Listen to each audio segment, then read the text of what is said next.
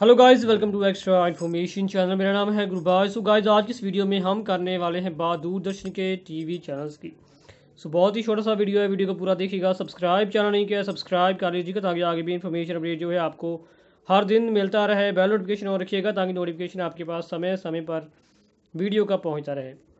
So guys Doordarshan का एक TV channel जिसके बारे में आप सब लोग जानते हो, आप लोगों ने देखा भी होगा। So D D retro channel जो है, एक अप्रैल 2023 को दूरदर्शन बंद कर रहा है। सो शट डाउन हो रहा है।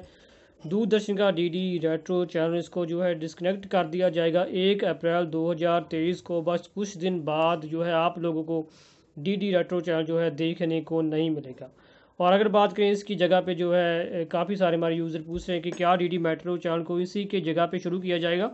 तो इसके बारे में ऑफिशियली फ़िलहाल कन्फर्म तो नहीं है कि डी डी मेट्रो को जो है एक अप्रैल से शुरू कर दिया जाएगा डी डी रेट्रो की जगह पे, लेकिन फ़िलहाल ये कन्फर्म है कि डी डी रेट्रो जो है बंद होने वाला है चैनल पर मैसेज भी लगा दिया गया है। और अगर बात करें ऑफिशियली ऑफिशियली अपडेट नहीं है कि D D metro D D metro को शुरू कर दिया जाएगा इसी चैनल के ऊपर एक अप्रैल से।